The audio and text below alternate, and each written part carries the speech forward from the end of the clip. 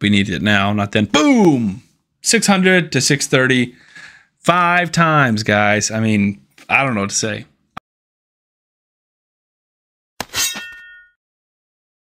What's up, guys? It's Sam, the Raid Man. We have an insane clan boss video for today. This is going to be my new record. I'm confident in it. This is going to be pretty nuts. This is based off of a few different champions, and I've kind of, found some pretty fun uh, synergies. The biggest thing is the new fusion that is very divisive. I understand that, but Vaultkeeper Wixwell, currently going for his soul. He's only level 48, so he's going to get better. But basically, he's intercept, he grows shields, he places shields. Now, the intercept's interesting. It can stop stuns in our clan team. We don't have block debuffs, so we have to find a way to deal with the stuns. The intercept can work really well for that. After a while, he can place that on everybody.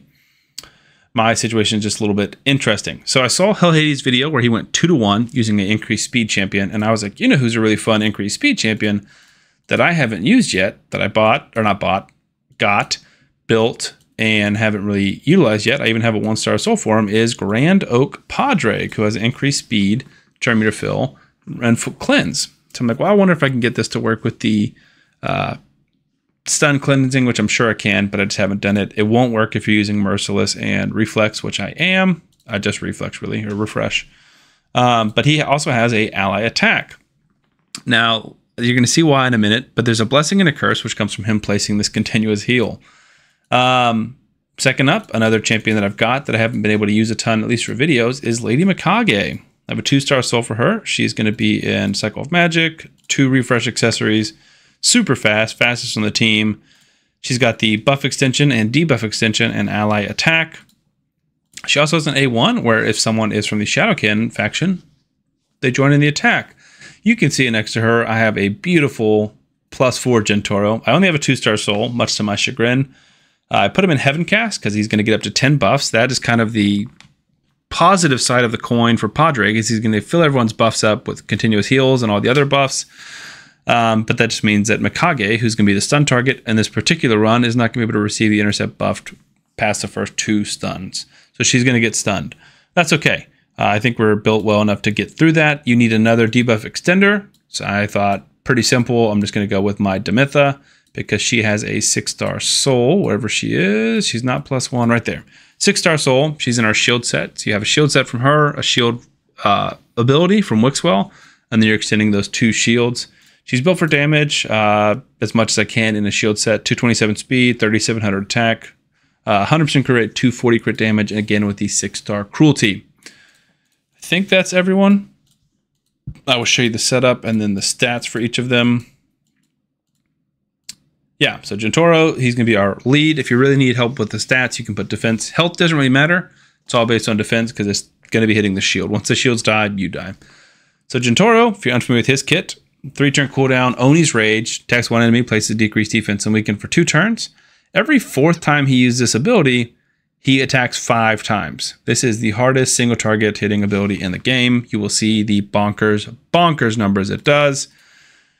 A2 attacks one enemy, steals 100% turn meter. Great skill, but doesn't work on the clan boss. But what's cool is it's built into his kit, decreases the cooldown of Oni's Rage, that's the hard hitting A3, by one turn if the target is immune to meter reduction effects. So this is priority one, this is priority two, this reduces the priority of this, which gets us back to doing it more often where it does millions of damage. A1 just hits hard. In PvE or like waves or PvP, it, it does grant an extra turn if you kill somebody, which is cool.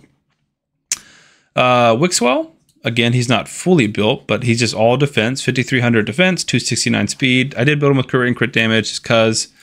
Um, and then I put him actually in a weird blessing. I put him in uh, faultless defense, I think is what it is. He should be here.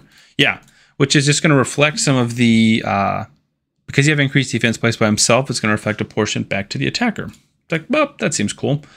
Um, let's see who else. We showed you Mikage. Showed you Jintoro. Oh, let me show you Jintoro's stats because I showed you his kit. His stats are, as you can imagine, plus four. Pretty gross. Uh, total stats 8,165 attack, 2,700 defense. This is probably the biggest weakness of the team. This and Mikage being stunned. Uh, he's the lowest defense on the team by far. We do have increased defense, um, but his shield will get eaten through faster than anyone else's. 222 speed, 100 crit rate, 347 crit damage, 264 accuracy. It's pretty bonkers. I showed you Demytha. She's in the shield set. Uh, Padraig, Mikage, Wixwell. I want them to reduce their cooldowns as much as possible.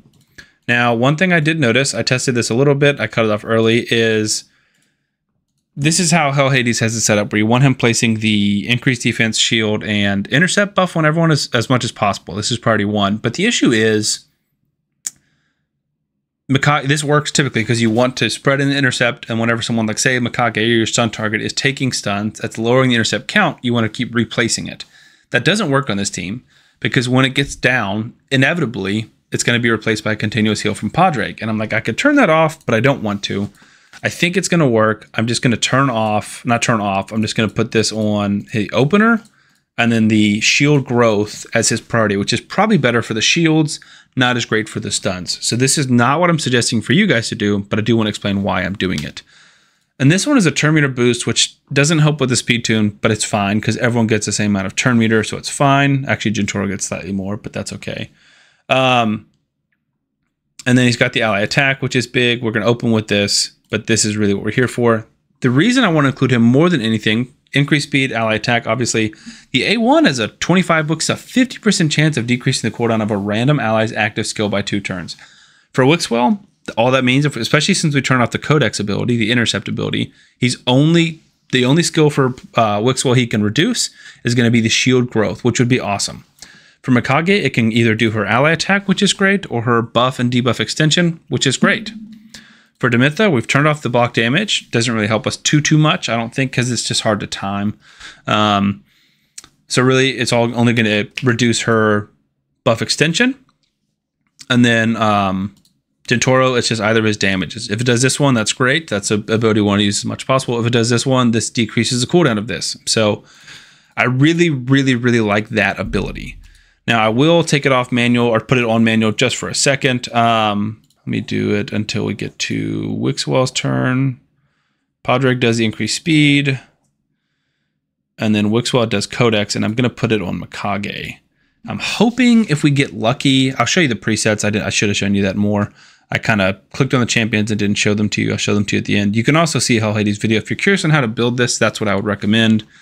One thing I will point out is if you want to test if it's working, you see, let's look at Mikage, for example. She's got this shield with like the four little squares and this shield with the two different sides. Everyone should have the same thing. Two shields, two shields, two shields, two shields, two shields, two shields. If they don't have that, that means they're going to die soon, basically. Now, this run is a little bit unfortunate, not this run, this affinity, because it is Spirit Affinity, so we're dealing with decreased speed.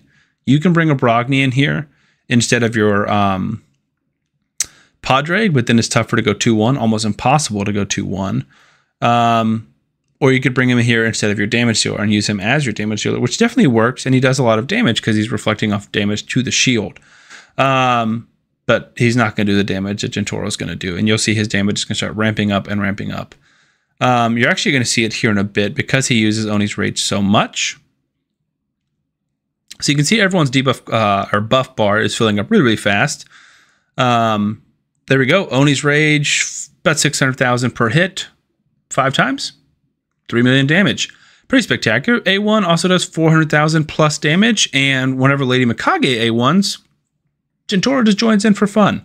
I mean, guys, the damage is spectacular. We're four turns in, less than two minutes in, we already got 17 million damage. We're going to get to 70 million at one key in like five minutes or so. I mean, it's just not going to be long. You can see that the intercept buff is only on Mikage and it's down to a one turn cooldown, meaning she's going to take this next stun and it's going to be gone. I will try and jump in and place it, but when I was testing it earlier, I tested it three times. It inevitably falls off.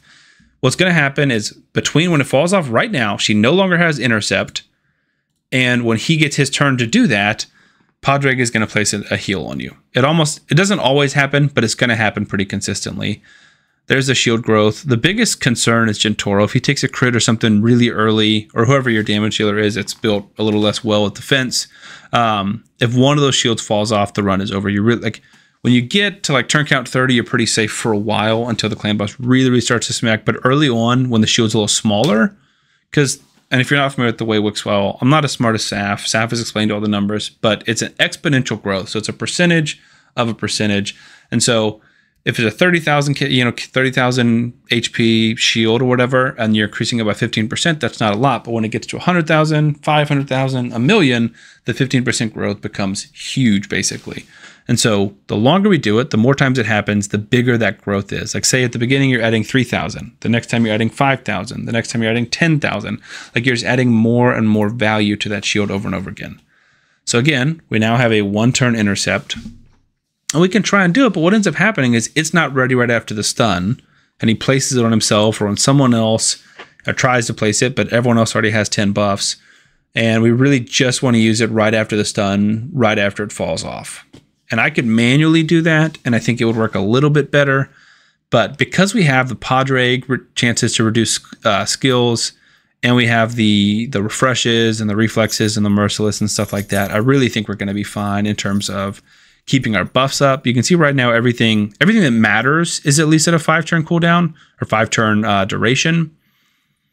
And I'm trying to think what else to say. The increased or decreased speed is definitely problematic, but I think the 20% turn meter built in for Padre kind of counters that. Like that's not something that Hades had in his team. So I still think we're going 2 1. Um, if we have decreased speed and Mikage does her buff extension, it decreases the cooldown of that. If we have Padraig's uh, increased speed ability, which is really just cleansing, that's all it's doing. He can cleanse that. Demytha does the same thing where she does her buff duration, it'll decrease the duration of any debuffs that are on you. So if it's affecting us, it's not affecting us too, too much. Um, let's take a look at, let's see if we can get another Jintoro smack in here in a second. 369 on the A1. We do keep decreased defense and weaken up pretty consistently. There's an ally attack, 435 on the A1 there. I have Padraig and Brimstone because why not? There's another ally attack. 620 on the Blood Freeze from Jintoro. There's another shield growth. That was the cleanse, which is unfortunate because we needed it now, not then. Boom! 600 to 630. Five times, guys. I mean, I don't know what to say. I, I will never get tired of watching that. Obviously, I love Jintoro as a champion. I really love him because he's my second plus four, and the first one was Norhog. So uh, I'm really happy to have a good champion in you know a plus four as opposed to Norhog, who sucks. The Heaven cast is really big on him. That's what I was talking about earlier because it is 10 buffs, which you wouldn't get to typically if you were just running Lydia instead of Padraig, which is probably the recommendation. Or in this case, it can be any increased speed champion. I was trying to look at someone who has increased speed and maybe like buff durations, but I couldn't really find anybody. So increased speed and block debuffs is great. I only have Siphi. Uh, I know Elva can do it, but I don't have Elva, so I don't know who else can. Because the block debuffs would be really, really helpful. But you definitely need the increased speed if you're trying to go 2-1. Granted, I will probably make a video, and let me know in the comments if you want this. I can make a video that shows a more budget option of this, but I see like a lot of other content creators are doing that. And Wixwell is awesome and can enable lots of easy one keys for people who maybe couldn't do it. So I was a little bit off, and when I said that we are going to get our one key, it looks like it's going to take us about seven minutes, but the damage is going to continue ramping up. The we have two ally attackers in here. We have Jintoro, who's absolute unit, and we have everyone built to do damage. Every single person here has crit rate, at least 70% crit rate. Everyone has either increased defense or increased attack to boost their damage. We have six star cruelty against the boss, and we have I guess that's it. um, yeah, there's our one key, six and a half minutes in. I'm very curious to see where this goes. I haven't watched it end. Um, my guess is probably like 300 million, but I just don't know. A lot of it depends on when Jintoro falls down. A lot of it depends on if we get some, you know, bad luck with Mikage being stunned, or if we get some, uh, you know, bad luck with Jintoro's shields falling out early, maybe getting some crits, maybe uh, Wixwell not letting us decrease attack. He's built with accuracy because that decreased attack just stops how much damage you're doing into those shields. All right, I'm gonna go ahead and uh, put some music on, speed this up. You can just watch that little number go up on the side of the screen. I'm super excited to see what the damage will be. I'll catch you guys at the end.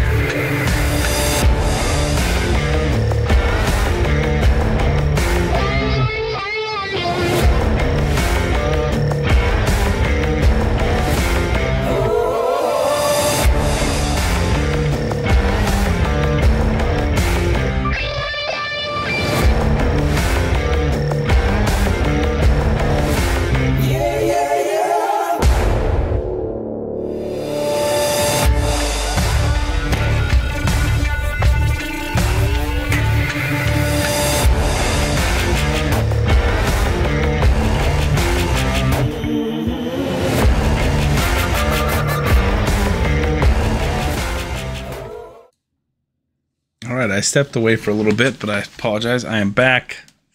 this is an insane number. I'm just looking at it for the first time. Jintoro, 314 million damage. 314 million. Uh, Demytha, 83, which is respectable. Obviously, six star cruelty helps. Um, she hits really hard, uh, well, relatively hard on the A1. We're not using her A3, that helps. Wixwell was 60 million. I think a lot of that is actually the reflecting of the damage because at a certain point you're taking so much damage. I think it counts against the shield.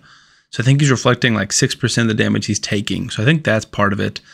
Um, Padraig 49 is very respectable. Mikage only 30, which is kind of surprising because she does hit on all of her abilities. Like even her buff extensions and attack, her ally attack, she attacks.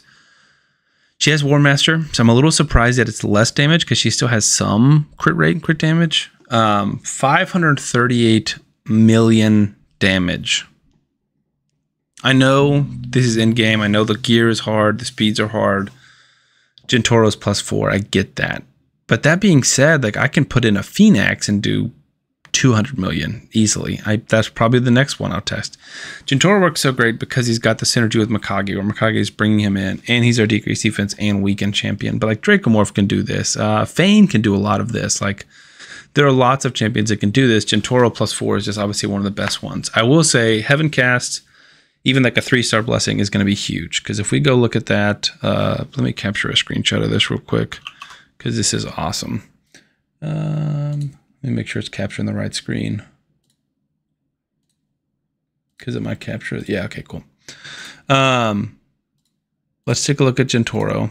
His Heaven Cast buff is 5% damage for every buff. So that's 10 buffs, 5% or yeah, 5% extra damage. Just a three star makes a big difference because that will then put him at 1% damage for every buff. So that's instead of a 5% damage increase, it's a 10% damage increase. Um, the gears all rolled. Like there's no real improvements there. Maybe some better ascensions and stuff like that, but not super fussed about it. Um, let me double check everyone does that. Yeah. Like Mikage has War Master, 73 crit rate, 220, 222% crit damage, 3200 attack. So like it's not crazy, but again, like she's attacking so much. The we have some ignore defense against the clan boss, two percent, not much, I guess. Um, I expected more from that, to be completely honest with you. Like that's an attack, that's an attack, that's an attack. Interesting. Um, anyways, this has already been a really long video. Uh, definitely like the video, subscribe to the channel if you enjoy content like this. I've got some really fun content coming out. Um, and I'll see you guys on the next one.